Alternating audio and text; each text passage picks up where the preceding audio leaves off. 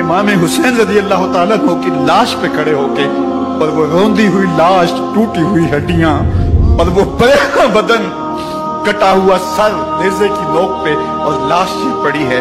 تو حضرت سیدہ زینب نے مدینے کی طرف منہ کر کے جو ہے وہ حضور سے فریاد کی۔ رسول اللہ، اے پیارے آقا، یا جدہ ہو اے ہمارے نانا محترم، یہ دیکھی آپ کا حسین پڑا ہوا ہے۔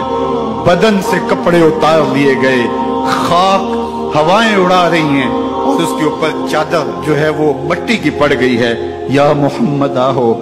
اور آگے فرمایا، حضور آپ کی اولاد کاٹ دی گئی۔